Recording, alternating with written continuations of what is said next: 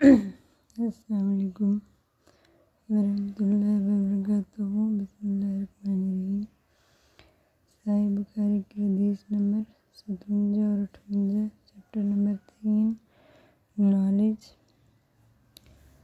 वो राइटर जो है, वो इमाम बुखारी है। पहले हम शुरुआत करेंगे उर्दू ट्रांसलेशन सतवंजा हदीस नंबर की हमसे मसद ने बयान किया। उन्होंने कहा, हमसे यूँ ही बिन सईद बिन कतान ने बयान किया। उन्होंने इसमाइल से उन्होंने कहा, मुझसे कहीं बिन अभी हजम ने बयान किया। उन्होंने हैर बिन अब्दुल्ला बिजली रज़ी से सुना।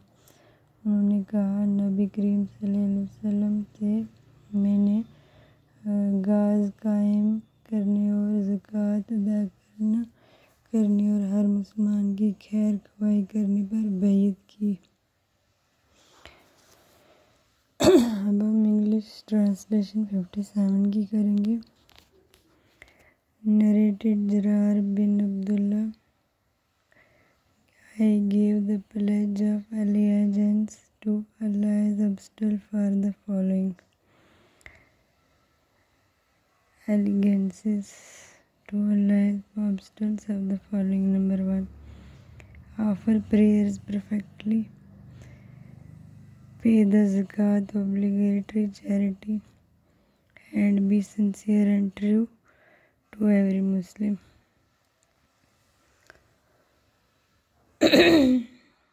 Urdu translation fifty eight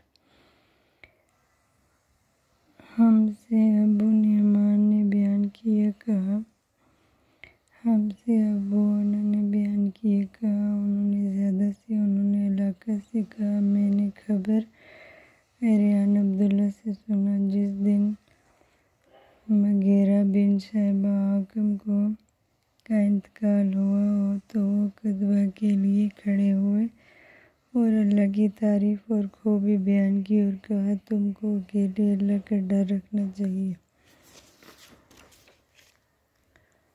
चाहिए इसका कोई शरीक नहीं।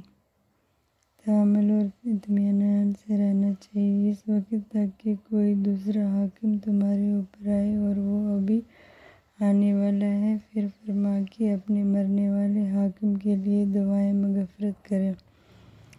क्योंकि वो वगैरह भी माफ़ी को पसंद करता है। फिर कहा कि इसके बाद तुमको मालूम होना चाहिए कि मैं एक दफ़ा नबी करीम सल्लल्लाहु अलैहि वसल्लम की पास आया और मैंने अर्ज़ कहा किया कि मैं आपसे इस्लाम पर बैत करता हूँ तो आप सल्लल्लाहु अलैहि वसल्लम ने मुझसे हर मुसलमान की खैर खवा के लिए शर्त की बस मैंने इस शर्त पर आपसे बैत कर ली। बस इस मजमे के रब की कसम किए मैं तुम्हारा खैर गवा हूँ। फिर इस्तफार की और मज़े से उतर आए।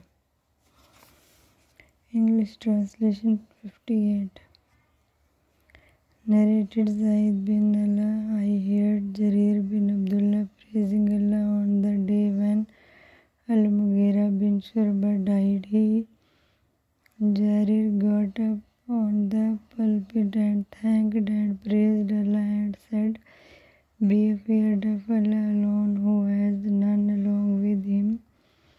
to be worshipped. You should be calm and quiet. Tell them, New chief come to you, and he will come to you soon. Ask Allah's forgiveness for your late chief because he himself loved to forgive others.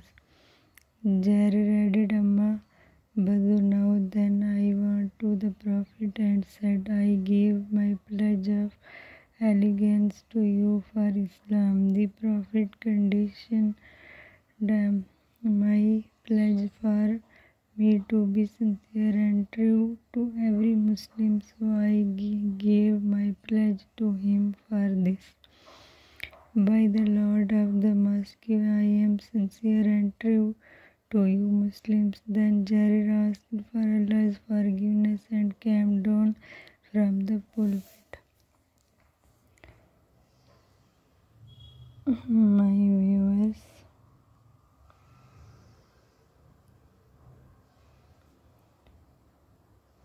please subscribe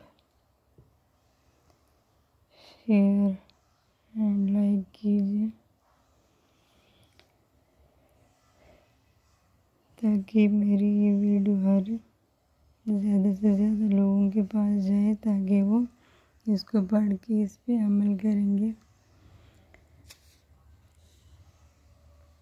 जो मेरा मकसद है वो पूरा होगा थोड़ा थोड़ा करके। आहिस्ता आहिस्ता से। प्लीज़ मैं आप सब, मैं अपने व्यूवर से यही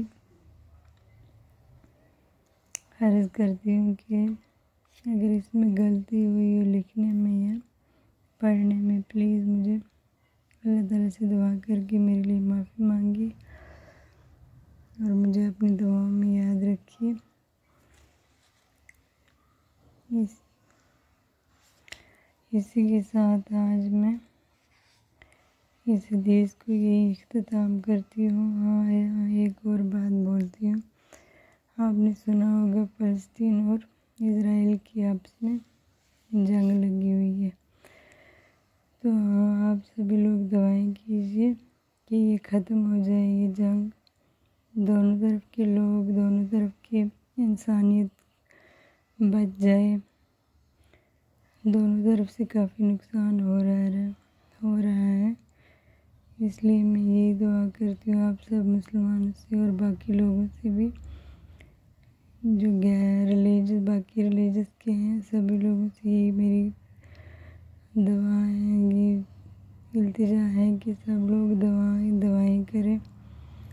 इसराइल और फ़लस्तीन के अंदर जो भी ये तूफ़ान मचा हुआ है, ये बंद हो जाए।